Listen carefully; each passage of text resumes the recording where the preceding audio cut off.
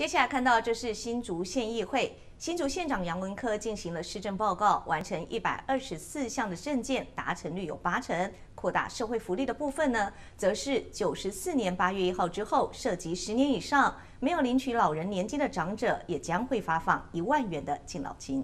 本席宣告今天的会议始。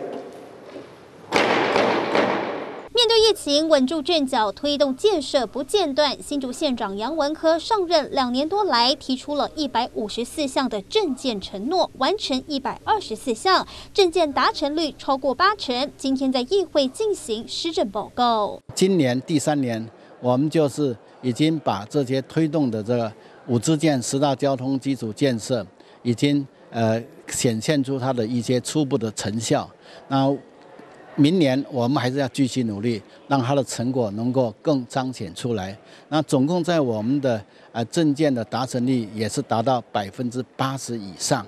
目前我们还继续在努力。产业经济蓬勃发展下，新竹县劳参率达到百分之六十一点二，全国第一；失业率为百分之三点八，全台第二低。展现成果，AI 园区四大厂陆续新建，创造四千个就业机会。高效能焚化炉要在一百一十二年底营运，解决垃圾堆置问题。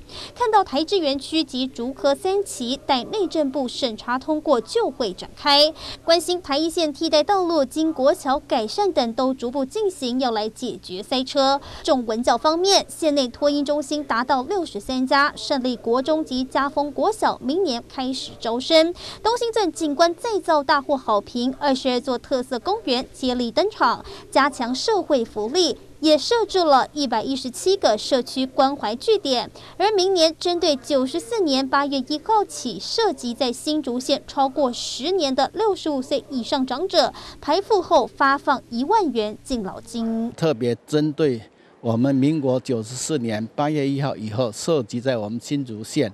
没有领取老人年金的部分，我们呃也有排付。那这样的话，我们利用呃重阳节的时候，每人可以发放一万元。那这个我们也提出向议会在这一次审议预算里面，我们也希望我们呃张议长以及我们议会的同仁能够来帮我们审议通过。明年编列三百二十三亿元的预算，辟建县总图、校舍新建、托育服务、长照十年计划、农路新建等工程，加紧脚步，要实践各项社会建设与福利。